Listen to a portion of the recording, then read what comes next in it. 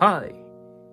今回はですね、まあタイトル通りなんですけど、まあ、これらね、まあ普段ツイッターとかでもいろんなコメント欄で見てても、昔のゲーム、ハードのことを、まあレトロゲーム、レトロハードって呼んでると思います。で、まあ時々ね、論争というのか、そういったものに発展しますけど、えー一つ、もう一つの言い方がクラシックですね。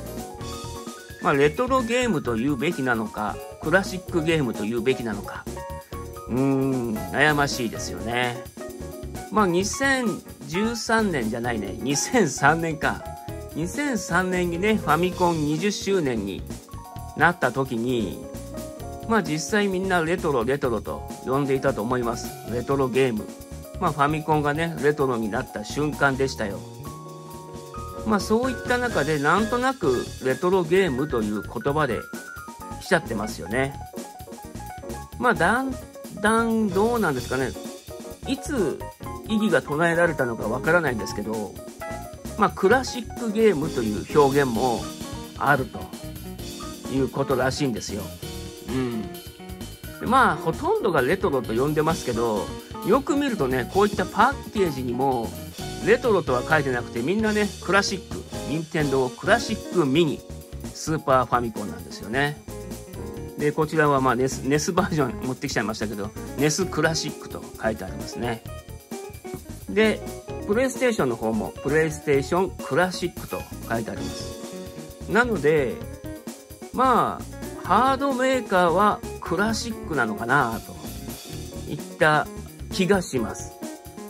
確かに自らね、ハードメーカー自らレトロゲーム、レトロ、レトロといった言葉はあんまり聞かないかなといった記憶がありますけど、クラシックなのかなと。まあこれ、まあどっちでもいいんですけどね。どっちでもいいんですけど、まあなんとなく、皆さんはね、普段どっちを使ってんのかなというのが気になったため、まあアンケートというんでしょうか。うん、どっちかなと。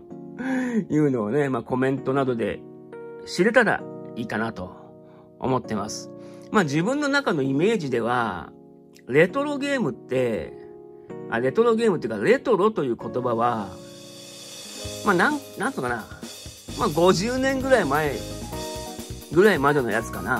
50年ぐらい。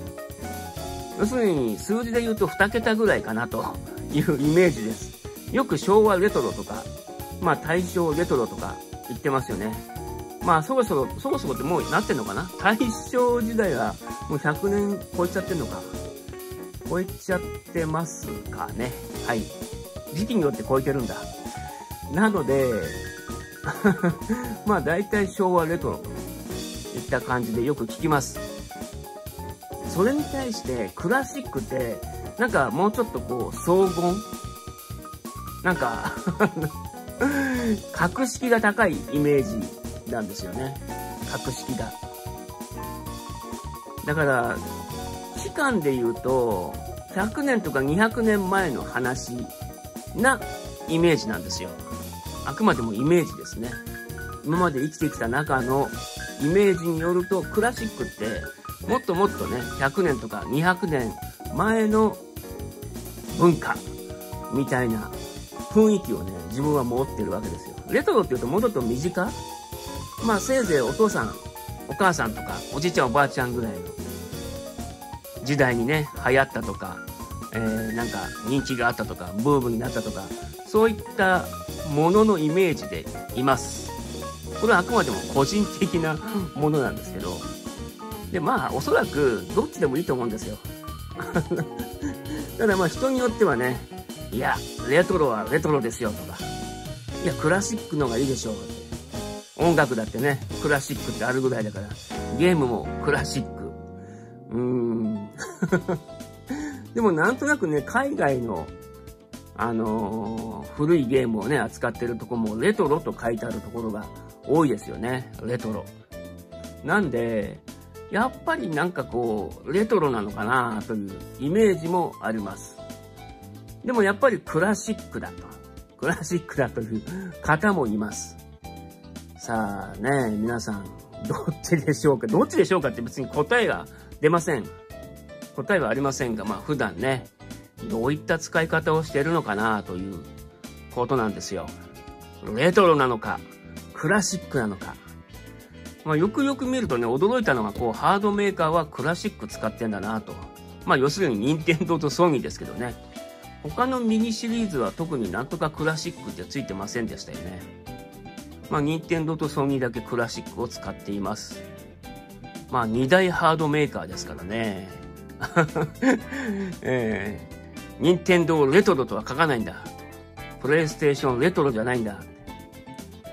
まあイメージとしてね、なんとなくこう、うーん、なんでしょうね。まあ、昭和だからね。スーパーファミコンはもう平成か。ファミコンはね、昭和なんですよね。PS はもう平成でしたけど。まあでもレトロっちゃレトロなんですよね。でやっぱり普段使う言葉で中ではレトロって言ってることが多いと思います。ただね、意識して聞いてると、なんか時々クラシックって言っちゃってる自分がいたりとかして、なんとなく混ざってんのかなといった気はしてます。まあそんなわけでね、まあ大した、大した議論ではないんですけど、さあ、レトロ派なんでしょうか？クラシック派なんでしょうか？ちょっとね、気になってます。ではまた。